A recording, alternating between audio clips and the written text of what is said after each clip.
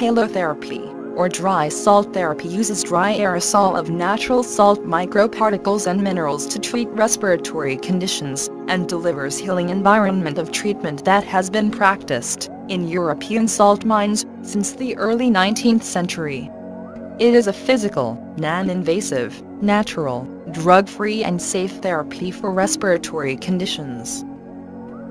Brief history of halotherapy In 1843 Felix Boczkowski, a Polish doctor of medicine investigated and stated the curative factor of salt mine environment on respiratory conditions. Since then, many salt mines have been used for therapeutic purposes all across the Europe. In 1990 Russian Ministry of Public Health sanctioned halotherapy or dry salt aerosol therapy as valid medical treatment based on data collected from 15 Russian hospitals from 1991 to 1994. Over 4,700 patients both adults and children with various types of pulmonary diseases have been evaluated. Halotherapy course consisted of 10 to 20 daily sessions. Halotherapy treatment resulted in improvement of clinical state in 85% of mild and moderate asthma cases, 75% of severe asthma cases, and 97% of chronic bronchitis and bronchiectasis cases. Long-term examination of patients for one or more years demonstrated the effect of halotherapy on reduction in the frequency of exacerbations and reduction in chronic symptoms. In 2001 first halo therapy clinic has been established in Toronto, Canada. Since then many halo therapy spas have been created across America. The dry salt therapy complex is composed of one, two or more rooms. A room or rooms for patients and a technical room for halo generator machine that generates microparticles of dry salt aerosol. Usually, the room for children is separate, due to the fact that children like to play in the salt room, and adults tend to deeply relax. The surfaces of the salt room are lined with natural salt, to keep sterile and allergen-free environment at all times. In addition the salt room is equipped with dimmed ambient lighting, audio and video systems to create relaxing atmosphere.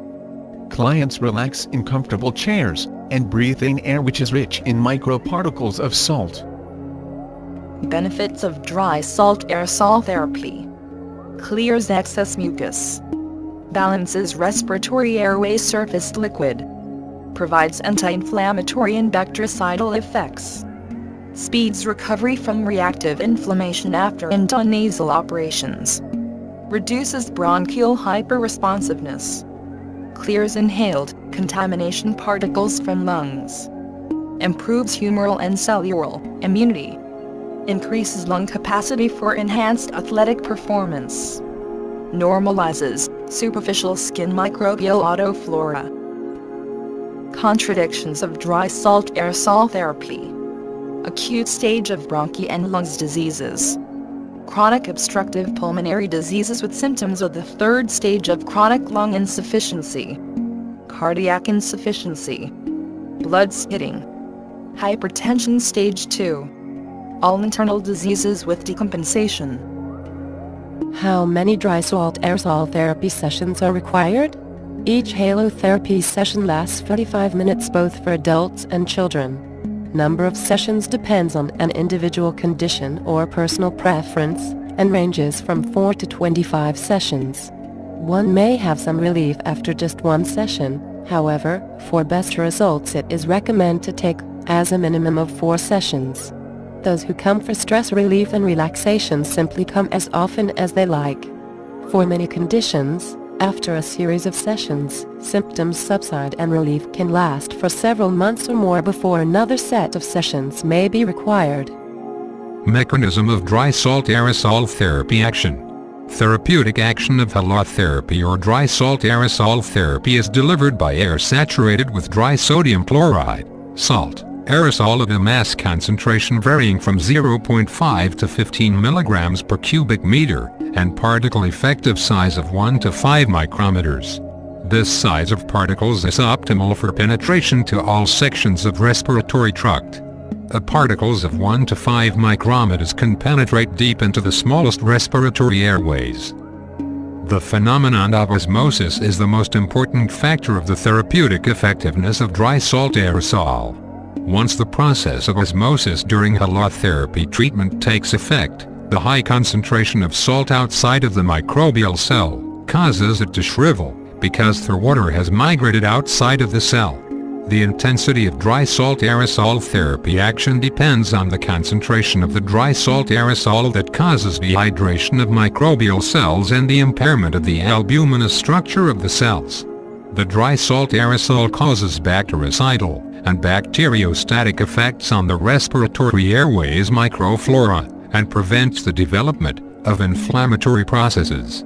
Dry salt aerosol is a considerable negative electrostatic charge of particles ranging from 6 to 10 nanocoulombs per cubic meter.